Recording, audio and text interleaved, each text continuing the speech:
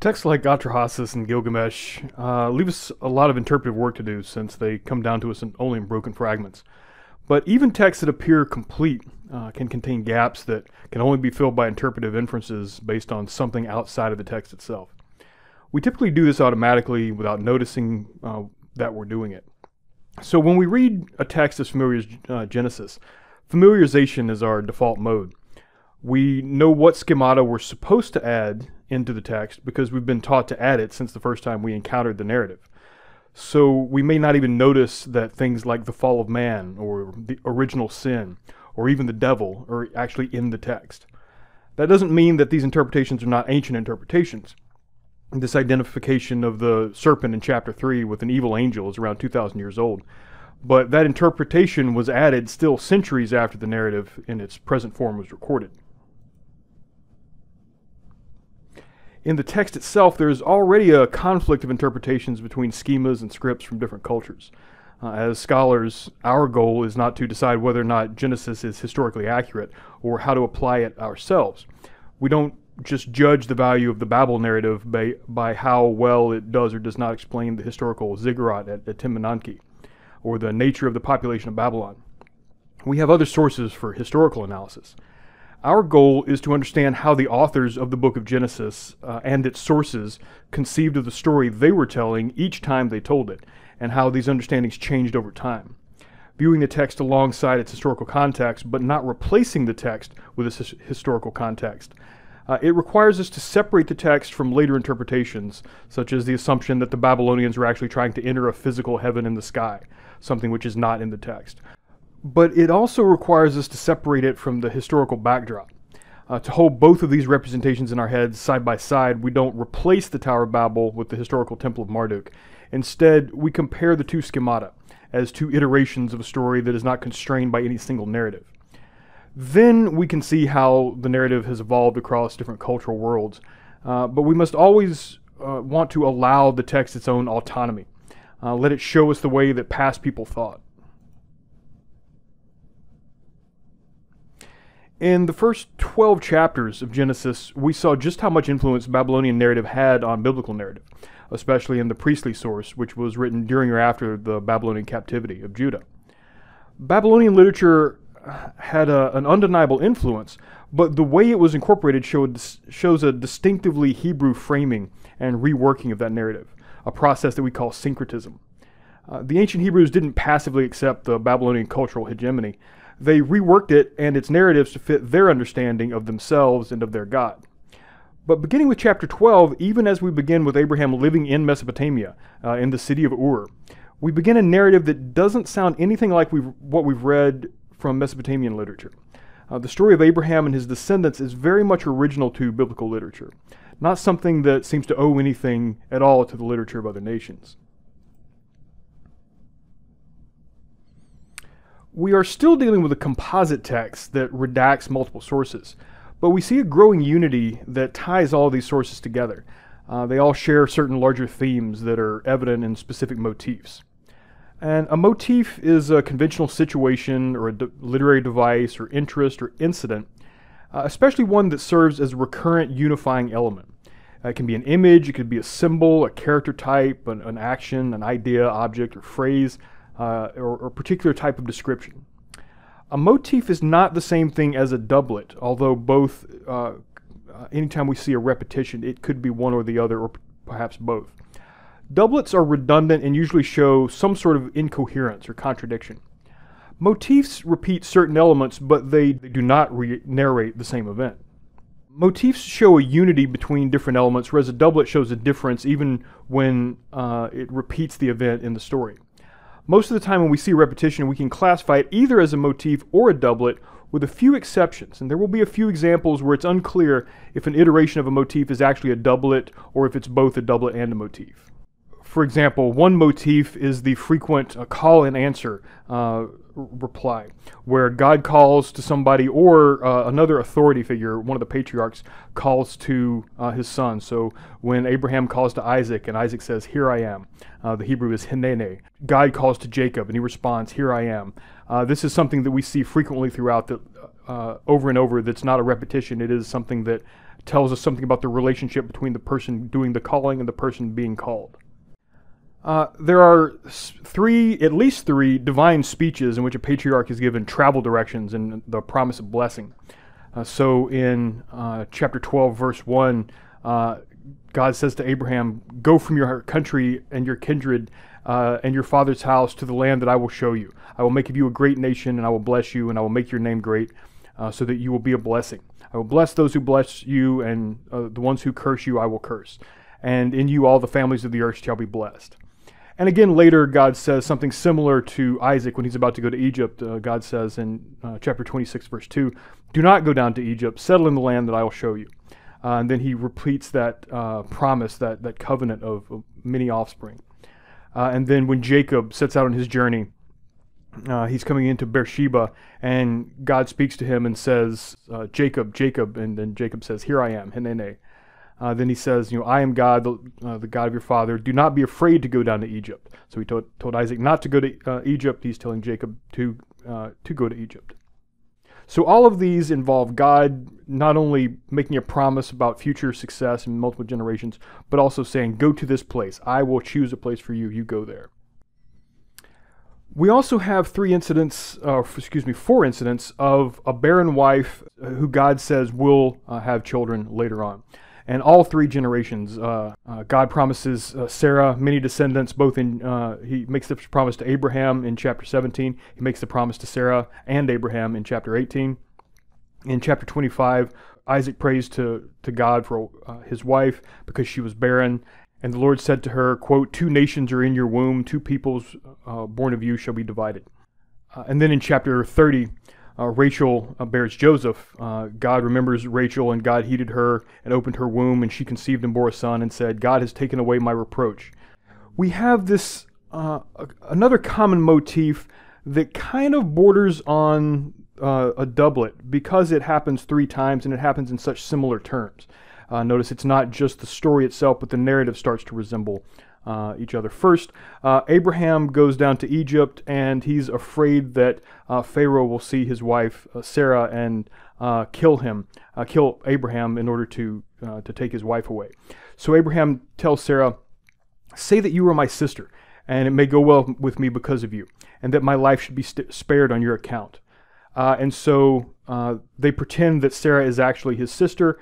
she's taken to Pharaoh, and we're told in this is uh, chapter 12, verse 16.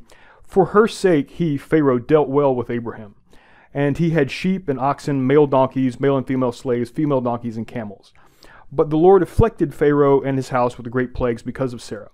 In other words, because of this uh, pretense that Sarah is not actually Abraham's wife, uh, she goes to Pharaoh. Pharaoh thinks Abraham is her brother, so he uh, gives Abraham all of these, uh, all of this wealth, all this uh, animal wealth, and uh, gives him slaves. So Abraham's actually making out pretty well because of this. Uh, but the Pharaoh is not. Because he's done this, then God is afflicting him, and he doesn't know why. And later he figures out the the, the deceit, and he tells in verse 20 Pharaoh gives his men orders concerning them, and they send him on his way with his wife and all that he had. So uh, after Pharaoh figures out the deception, uh, he sends Abraham and Sarah away, but they get to take the wealth that they've been given. Uh, well, the same thing happens again in chapter 20. At the very beginning, we're told that uh, Abraham journeyed toward the region of Negeb, and King Abimelech uh, sent and uh, took Sarah, but God came to Abimelech in a dream by night uh, this is uh, after in in verse in verse two, Abraham says of his wife Sarah, "She is my sister." And King Abimelech uh, sent and took Sarah. But God came to Abimelech in a dream by night and said to him, "You are about to die because of the woman who you have taken, for she is a married woman." And uh, then later in, in verse 14, um, Abimelech took sheep and oxen and male and female slaves and gave them to Abraham and restored his wife Sarah to him. Abimelech said, quote, My land is before you. Settle where it pleases you. And then to Sarah, he says, Look, I have given your brother a thousand pieces of silver. Uh, and so uh, Abraham is given all this wealth, and it's only when uh, he's given this wealth and Sarah is released from Abimelech that Abimelech's uh, affliction is uh, healed, and uh, all of the, the women of his house are again able to have children. Because we're told in verse 18, the Lord had closed fast all the wombs of the house of Abimelech because of Sarah, Abraham's wife. And like father, like son, Isaac in chapter 26 uh, settles in the same region uh, with the same king, King Abimelech. And this time he says of his wife, quote, She is my sister.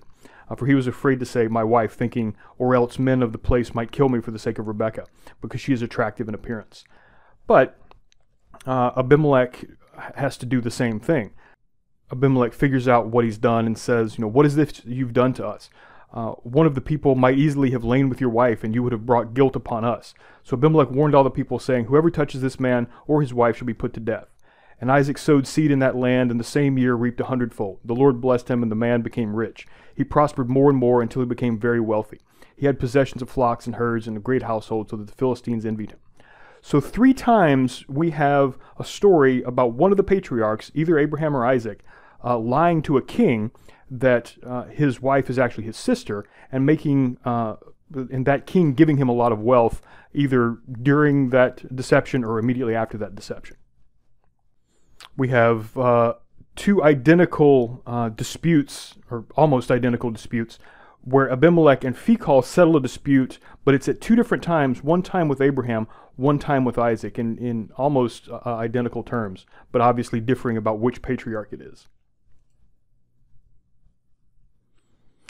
Now, the most frequent and most central motif throughout the book of Genesis is the covenant. This is a, an agreement between uh, God and the patriarchs Abraham, Isaac, Jacob.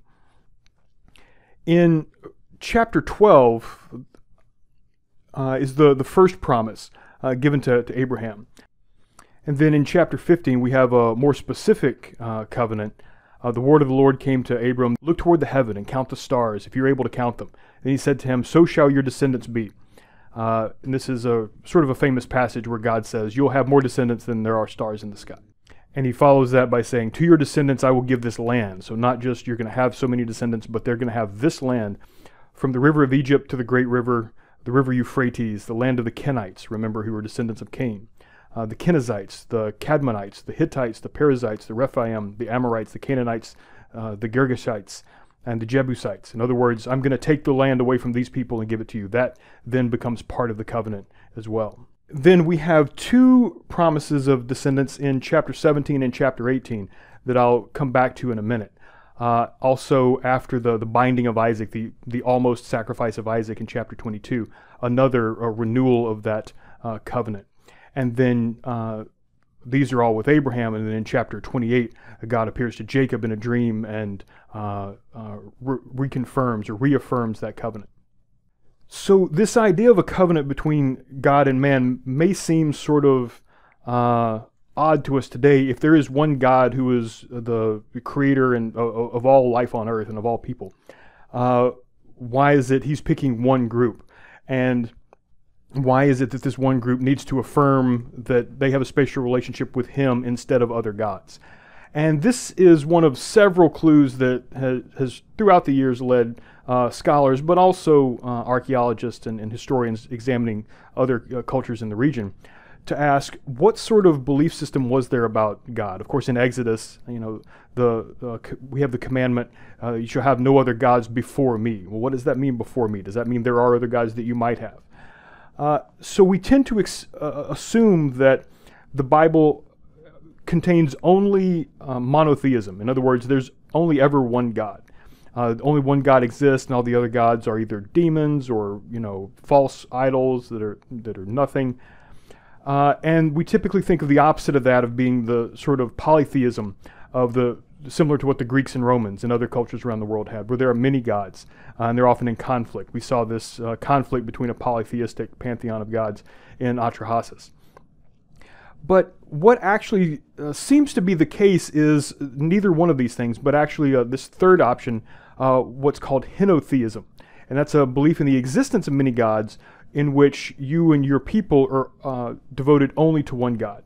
So you are really putting your God before all other gods, uh, but still accepting that other nations have other gods. And this is one of the reasons for uh, later warnings throughout the Pentateuch about mixing with other nations, because their gods will corrupt your, uh, your people. And there's several clues that henotheism seems to be the rule in these early, uh, early books, uh, these early sources of Genesis. um, God identifies or is identified as the God of particular worshipers rather than just as God. Uh, he's not presumed to be the only God. So in uh, chapter 24, verse 27, uh, we hear, Blessed be the Lord, the God of my master Abraham, uh, who has not forsaken his steadfast love and his faithfulness to my master. In other words, uh, people are asking him, Well, which God are you talking about? Oh, let me tell you which God. It's the one that Abraham worships.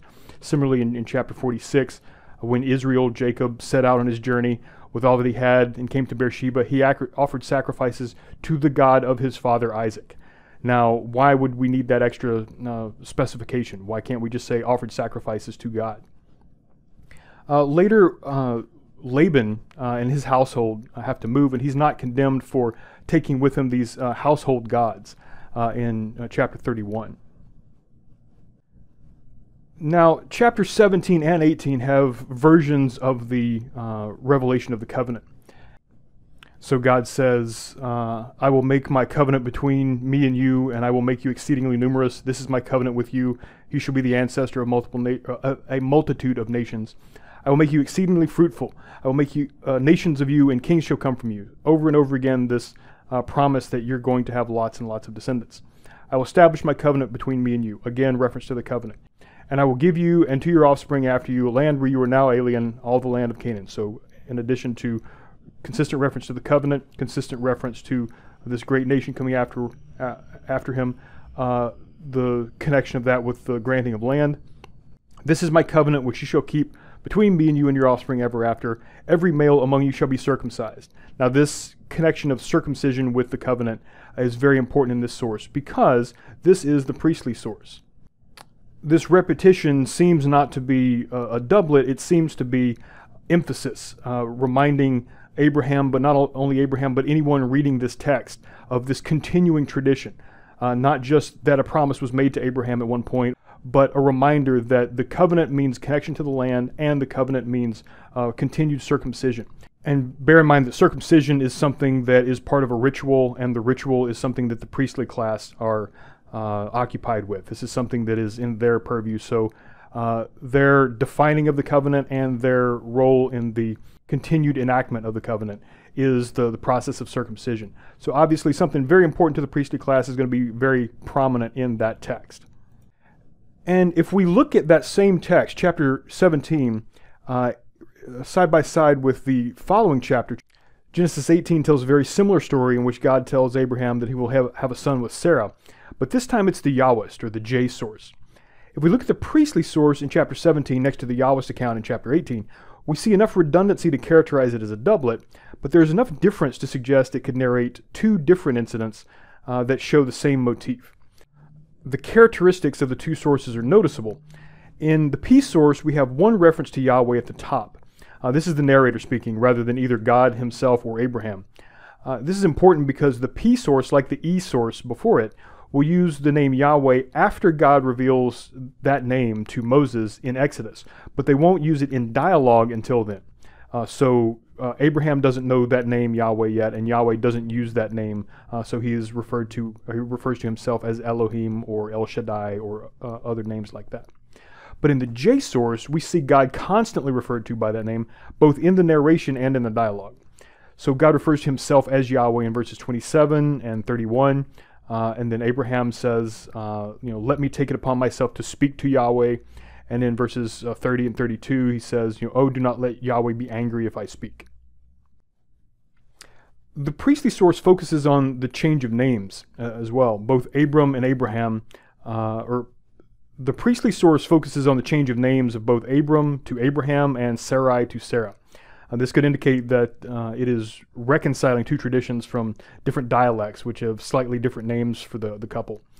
Uh, as we've seen already, the priestly source is focused on the covenant specifically as it relates to the priestly ritual of circumcision, whereas the Yahweh source is more interested in portraying Yahweh as a character, including the back and forth dialogue between Abraham and Yahweh.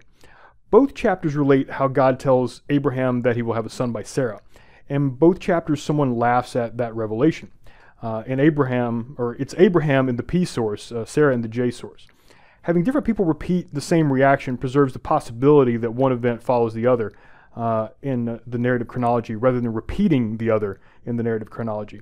But it seems odd that the birth of Isaac needed to be announced twice. and that each uh, laughing parent is described with very similar dialogue. These uh, similarities uh, connect the two chapters and suggest that they're different narratives telling the same story. But that also prompts us to pay careful attention to the differences and what they tell us about the individual authors. Chapter 18 is the J or Yahweh source, and look at the difference in the way God is portrayed. We're told, quote, the Lord appeared to Abraham by the oaks of Mamre.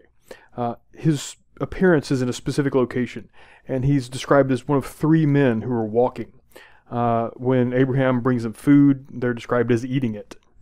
The term for this type of representation is anthropomorphism. Uh, that's the addition of imagery depicting human characteristics such as a physical body or specific location in place and time, uh, emotion, limited knowledge, uh, communication through language, and that sort of thing. Uh, in contrast to the, the later idea that we're more familiar with, that God could not be seen, uh, and that even later that uh, the idea that he was omnipresent or omniscient, uh, he was everywhere at the same time, and that he knew all things at the same time. Uh, in in contradiction to this, this is a very human characterization. This individual is clearly identified as Yahweh. Uh, remember that every time uh, an English translation of the Bible writes the Lord in all capital letters, it's adapting the Jewish tradition of uh, substituting the word Adonai, which literally means the Lord, but was uh, used to replace the four letter name YHWH uh, or Yahweh. Uh, but Yahweh is the name printed in the Hebrew text every time you see the Lord. And Yahweh is consistently described not only as having a human like body that is physically present, but also having limited knowledge. And this contradicts our familiar notion that God is omnipresent or everywhere at once or omniscient, knowing all things. Uh, but these notions don't show up in the Hebrew literature until centuries later. Uh, remember that it's not until the book of Deuteronomy, written sometime between 640 and 609 BC, that we have a clear insistence that God cannot be seen and that he acts from a distance.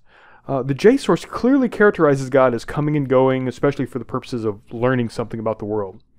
We've already seen this in the Tower of Babel uh, story uh, when God says, uh, quote, let us go down and confuse their speech. In other words, he has to go down uh, from somewhere up, presumably in heaven.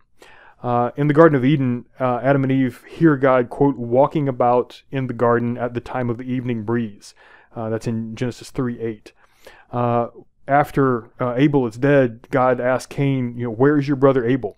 Uh, and it's only in the next sentence when he presumably comes closer to Cain that he hears, uh, you know, he says, "I hear your brother's blood calling out to me from the ground." That's in Genesis 4:10. Uh, and this limited knowledge kind of helps make the the sacrifice of Isaac make sense in later in chapter 22. But because we haven't inherited this later interpretation uh, that tries to make God less anthropomorphic, we're often told that these men are angels rather than God Himself. When we see visual representations, they look like the medieval notion of an angel, which is a person with white bird wings and wearing a white robe. But the text clearly confronts us with a pretty blunt reference to Yahweh as walking, talking, uh, an entity that is at first thought to be a man, who looks like a man, eats like a man. Uh, this gradual realization of what at first appears to be a person, uh, that that person is actually God or an angel or some spiritual being, uh, this happens pretty frequently in the Hebrew Bible. Uh, it, it is uh, its own motif. The biblical scholar James Kugel calls this the uh, moment of confusion. Uh, he says, quote, The biblical account of these meetings always goes to the trouble of narrating a moment of confusion during which the people in question think they are talking to some ordinary person. And this confusion goes on for a while, and then somehow it suddenly dawns on the human that they're actually talking to an angel or to God himself. Uh, and the distinction is not always clear. Uh, Kugel explains it this way.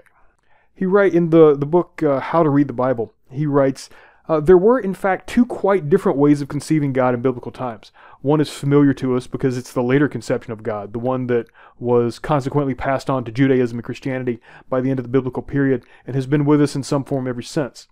According to this model, and he means model in the sense of today's physicists using the word uh, as a way of trying to conceptualize something that is not directly perceivable by the senses. God is everywhere all at once. Uh, that is, he is omnipresent, and concomitantly, uh, he is omniscient. He knows everything. Indeed, he is all powerful or omnipotent. And this is a much later model. Its beginnings are to be located in the 6th century BCE uh, or so, though it does not appear fully until the end of the biblical period. The Bible's earlier way of representing God is, is not a poor version uh, of the later way. It's, uh, it's based on a completely different model, a completely different way of conceiving God's being, one that could hardly be described as uh, many scholars, many modern scholars imply, unsophisticated uh, in some ways. It, in some ways, it, in fact, it is more sophisticated than the later model that replaced it. So we don't want to assume that this is just, you know, some sort of mythological version that the ancient uh, Israelites, that's the best they could conceive of because uh, they were quite capable of describing him the way uh, we are capable of describing him now. And we have other incidents uh, of this. Uh, in chapter 16, uh, God appears directly to Hagar at the well. And of course, later we'll have uh, Jacob wrestling the angel. but it's an angel that tells him that he has just wrestled with God. And then in chapter 22, by the time God declares the covenant again, he has promised it four times already. Uh, this time, however, before reaffirming the covenant, he tells Abraham to kill Isaac and to burn his body as a sacrifice. Uh, he doesn't actually make Abraham go through with it, of course, but the request, the sort of psychological torment it would have engendered, uh, in addition to the deceitful way Abraham goes about it, have raised questions about Yahweh's moral ambiguity uh, ever since ancient times. In Genesis 22, we're told, uh, or God tells uh, Abraham, Take your son, your only son Isaac, who you love and go to the land of Moriah, offer him there as a burnt offering on one of the mountains I shall show you. And so Abraham took the, the wood of the burnt offering and laid it on Isaac to make Isaac carry the, the wood that's going to burn him. Uh, and he himself carried the fire and the knife. So the two of them walked together. Isaac said to his father, Father, and Abraham said, Here I am, my son. Uh, he said, The fire and the wood are here, but where's the lamb for a burnt offering? Abraham said, quote, God himself will provide the lamb for a burnt offering, my son. So the two of them walked on together. The story culminates in Abraham demonstrating total obedience and God sending an angel to save Isaac at the last second. Uh, and then the angel tells him yet again that he will give him numerous offspring, all because Abraham showed unquestioning obedience. But this leads us to ask critical questions like how could God, even as a test, order someone to kill his own son? Uh, why would God ever need to test Abraham if he's omniscient and he knows how the whole thing will turn out? And if Abraham is morally good, how could he deceive his son Isaac by leading him into the wilderness under these false pretenses? Well, this story was distressing to ancient interpreters as well. It led people to look for ways to explain the story that would make God look less sadistic and more compassionate, uh, more omniscient. Uh, some ancient authors focused on the first line of the chapter, uh, after these things. Uh, in the last lines of chapter 21, we're told that Abraham dug a well and planted a tamarisk in the land of the Philistines. There's nothing relevant to the sacrifice of Isaac. But the ancient interpreters suggested that something had been left out, that the phrase after these things referred to a wager between God and Satan, like in the book of Job. Uh, as far as how to deal with the fact that Abraham deceived his son uh, with the intent to, to kill him, uh, interpreters focused on a creative reinterpretation of verse 8. In ancient Hebrew, there's no punctuation and there's no word for to be or is. Uh, so you can interpret the line, quote, God himself will provide the lamb for the burnt offering, my son, uh, to read instead, quote, God himself will provide, period. New sentence, the lamb for a burnt offering will be my son, end quote. So since the next sentence says that the two of them two of them walked together, that would imply that Isaac understood that he was you know, the lamb, uh, the lamb for the burnt offering will be my son, that he understood that and that he was willing to be sacrificed. Uh, interpretations like these collect over centuries and were passed down alongside the text itself. Uh, the Hebrew word for these traditions is midrash. Uh, midrash is the uh, term for commentaries on a text from the Hebrew scriptures specifically, characterized by non literal interpretation based on later theological dogma and traditions that eventually become viewed as authoritative interpretations.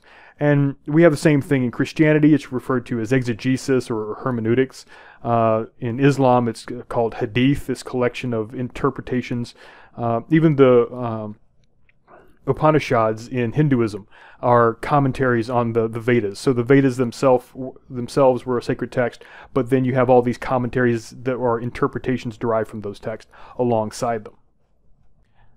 Uh, James Kugel defines uh, midrash by saying that interpretation is probably the best one word translation of this Hebrew word, but midrash has a particular connotation, which is that it was a non obvious uh, interpretation. So that anybody could tell you that God tested Abraham, but it took a skilled interpreter to show that words in the text hinted at why he had wanted to, uh, as well as Isaac's willingness to participate in this episode. A similar morally ambiguous incident, or a series of incidents, comes at the beginning of the story of Jacob. Uh, so Jacob is the second born of Isaac, meaning that he will not inherit his father's estate, and moreover, his father Isaac prefers his brother Esau. But twice Jacob resorts to uh, cruel or deceitful tactics in order to take away his brother's inheritance. Uh, first in Genesis 25, after Esau has been out hunting, and he returns very hungry, saying, "You know, I'm famished. Uh, I, am about to die." Uh, his brother Jacob refuses to give him anything to eat unless first Esau surrenders his birthright. Then, with the help of his mother, he not only lies to his father Isaac, uh, claiming to be Esau in order to get that birthright, but he disguises his arms with animal fur so that they seem hairy. So his father gives him Esau's birthright by mistake. Uh, this is not a very noble characteristic for a patriarch. And so that left early interpreters with a, a, quandary. You know, should they admit that Jacob was dishonest, or was there a way to rationalize this kind of conduct? So since the Hebrew Bible had no capitalization no, and no punctuation, uh, it was a matter of interpretation where a sentence begins and ends, and it also has no verb like is, no, no be verb.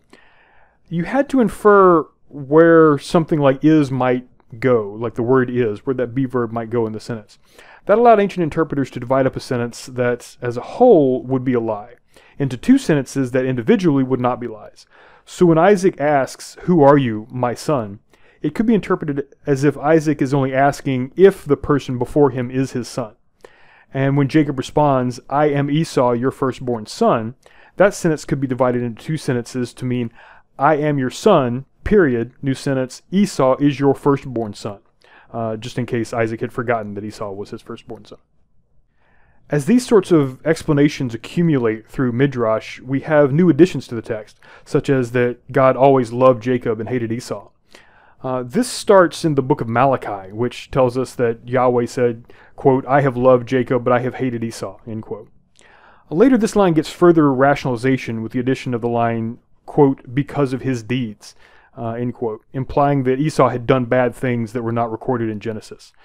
Uh, in the first century of the Common Era, Paul of Tarsus, St. Paul, writes in his letter to the Romans, quote, even before they had been born or had done anything good or bad, so that God's purpose of election might continue, not by works but by his call, uh, their mother was told, The elder shall serve the younger. As is written, I have loved Jacob, but I have hated Esau. Uh, because Paul doesn't cite his sources and say this is from the book of Malachi, people typically assume that this is from Genesis, or that this line about hating Esau is in Genesis when it appears in Malachi, it's actually a reference to the misfortunes suffered by the nation of Edom, which uh, Esau was supposed to have founded. This conflation of the people with the nations uh, they were supposed to have founded should be a clue that we're not just dealing with a historical account of two individual people. From the beginning, the narrative frames Jacob and Esau as two nations. Jacob is the founder of the nation of Israel, Esau is the founder of the nation of Edom. The references to Esau's redness, uh, the the word for red was Adom, which sounds like the later nation Edom. Uh, Edom's mountains are called Seir, which sounds like the word for hairy, which is Sair. Uh, when we compare this narrative to the history of ancient Israel and Edom, we see that the younger nation, Israel, was able to conquer the older nation of Edom, at least for a little while. So the story serves as an etiology of the political history of Israel and Edom. The reason Jacob gets Esau's birthright in the narrative isn't because he's more moral. It's because at the time the story was written, the nation of Israel ruled over the nation of Edom. And the narrative generates a past that will explain the writer's present circumstances. Uh, interpretations which do not deal with this historical connection and instead look for some timeless moral generalization have a hard time rationalizing these chapters. So if we come to the Bible looking for simple answers, uh, the only ones we're going to find are the ones we add ourselves. Uh, this is particularly true with the incident we usually refer to as Jacob wrestling the angel. Uh, at no point is the angel called an angel. Uh, the narrator calls him a man, and the man then refers to himself as God when he says, You have striven with God and with humans and prevailed. Uh, Jacob then says in verse 30, uh, I have seen God face to face, and yet my life is preserved. Uh, this has left all the, the passage's readers a lot of interpretive work to do. was it a man? Was it God? Was it an angel? And do we really understand how the authors conceived of the difference between these three concepts? Uh, in other words, do we have the right schema to understand what's going on here? Uh, artists representing the scene have a hard enough time to figure out uh, how to depict it. After all, the, the text tells us that Jacob had the upper hand in this wrestling match, that the opponent uh, had to resort to striking his hip uh, in order to, to win, in order to beat him. Uh, but that conflicts with our schemata for any kind of divine being, even if it's just an angel. You know, how could a human win in physical combat with any kind of, of Elohim, uh, any kind of spiritual being? It is significant that this is where Jacob is renamed Israel and takes on his role as the patriarch of the later nation that would tell his story. Uh, from the united monarchy of David and Solomon to the, the modern nation state and, and everything in between. Uh, in this historical context, the origins and the iterations of the text make available a range of interpretations that are obscured if we try to force it to be a literal history or a universal moral guide or, or somehow both. You might say that the last 2,500 years have seen that wrestling match continue. The people of Israel, the, the name of Jacob, uh, and their descendants in the three Abrahamic faiths, uh, continuing to wrestle over interpretations of these inherited scriptures, not to mention wrestling over the land that produced it. And whether you believe Genesis is the inerrant truth or an anthology of ethnocentric fables or something in between, the only thing you can't say about it uh, is that its interpretations haven't or don't continue to influence uh, many aspects of Western civilization. Uh, people use it today to justify military conquest in Israel or Palestine, uh, and to discredit scientific research and scientific education here on the other side of the globe. Uh, these modern attempts to oversimplify or exploit the text for a coercive ideological purposes are really unfortunate, uh, since they attempt to hide the complex nature of the text and the society that produced it. One of the founders of modern psychology, William James, described it this way, quote, if our theory of revelation value were to affirm that any book, to possess it, must have been composed automatically, in other words, directly by the, you know, a spirit controlling the hand of the author, or not by the free caprice of the writer, uh, or that it must exhibit no scientific or historic errors, uh, and express no local or personal passions, the Bible would probably fare ill at our hands.